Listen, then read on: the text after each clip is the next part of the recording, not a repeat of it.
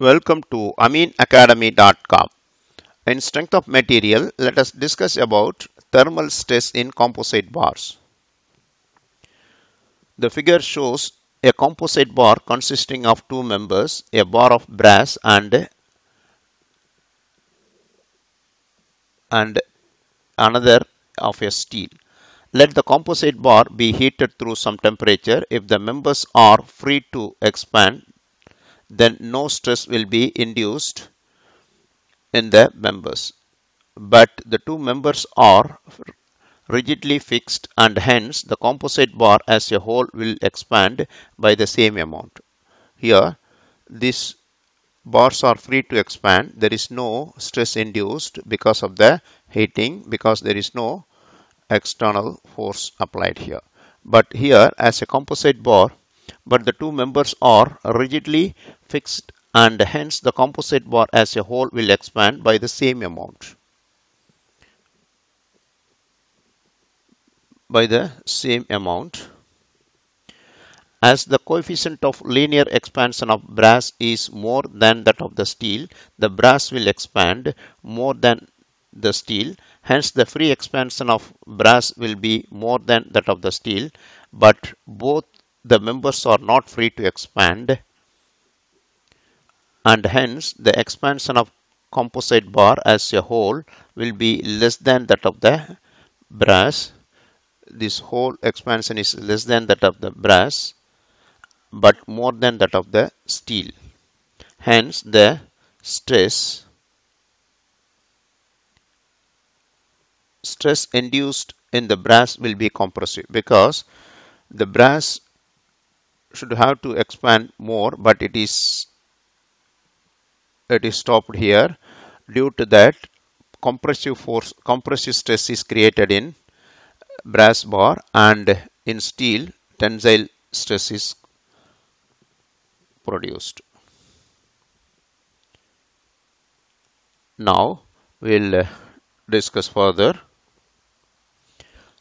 Let AB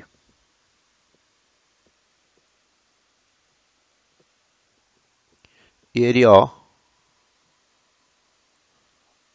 of cross section of brass bar.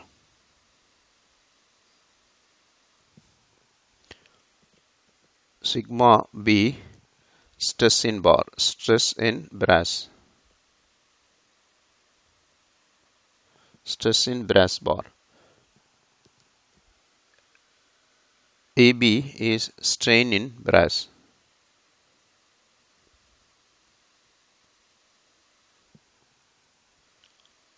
Alpha B is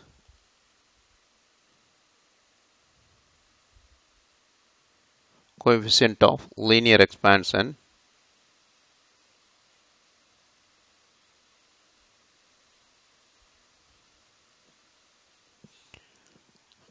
coefficient of linear expansion for brass. Same like AS sigma S ES alpha S for steel bars. That means area stress strain coefficient of linear expansion for steel is given like.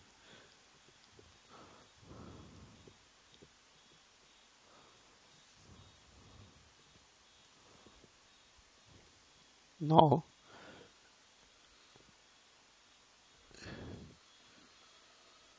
and e EB is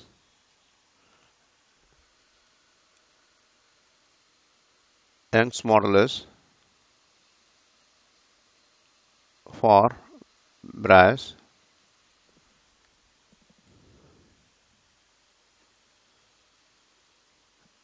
and ES Young's modulus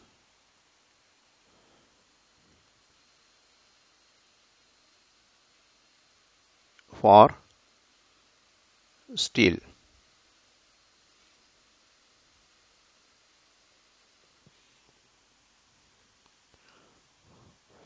Now load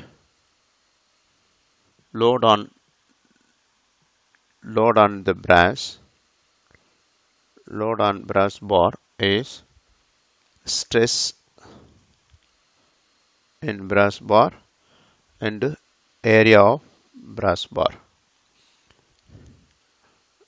Load on steel equal sigma s to area of steel for the equilibrium of the system compression in copper should be equal to tension in steel.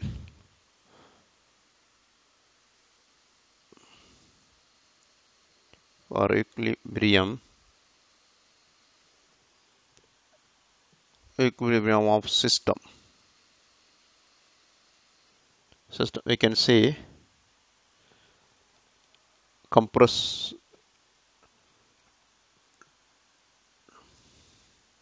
compression in copper.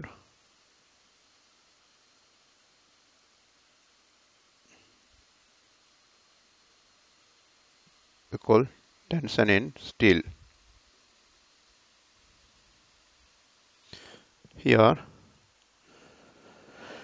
here compression in brass and tension in steel not compression brass compression cop brass here not copper here.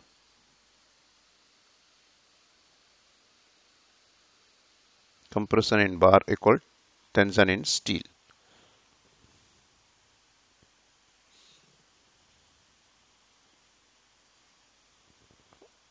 Or you can see further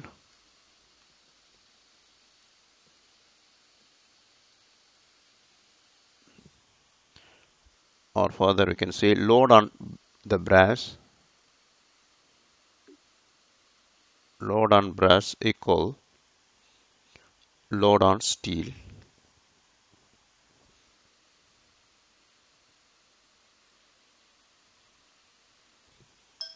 So sigma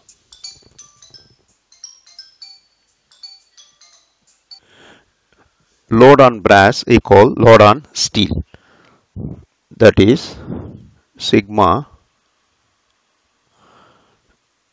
b into ab ab equal load on steel sigma steel into area of steel.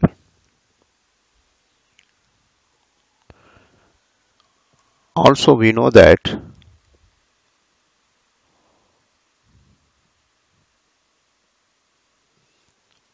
actual expansion of steel.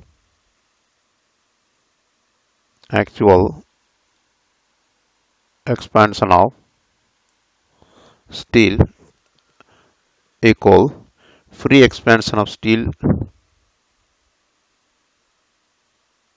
free expansion of steel plus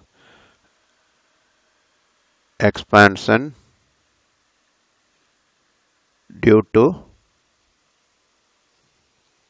due to tensile stress.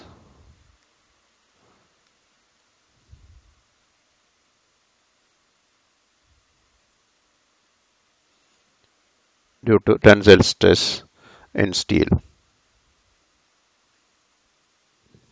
That is we can use this one as alpha is coefficient of expansion of steel temperature change original length plus sigma steel by Young's modulus of steel into L.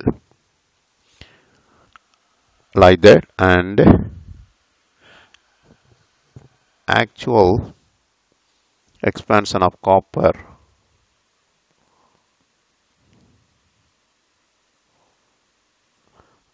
actual expansion of copper is free expansion of copper.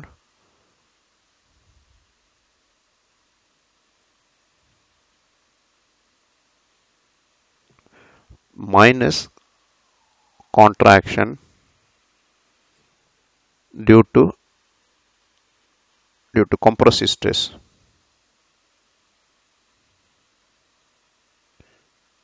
Compressive stress induced in in brass. Here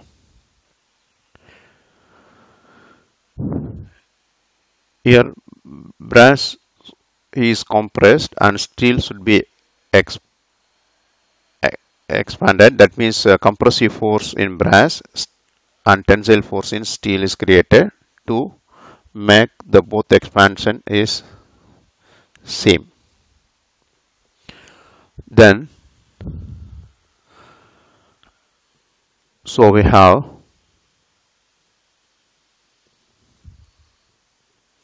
therefore we can write alpha for this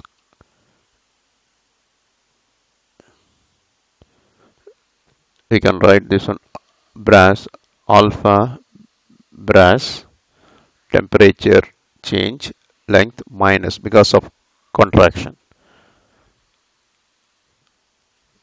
sigma brass over Young's modulus brass into length L. So these both are equal now. This actual expansion steel and actual expansion in copper both are equal. Therefore, we can write alpha S T and both side L is cut that is alpha S T plus sigma S over ES equal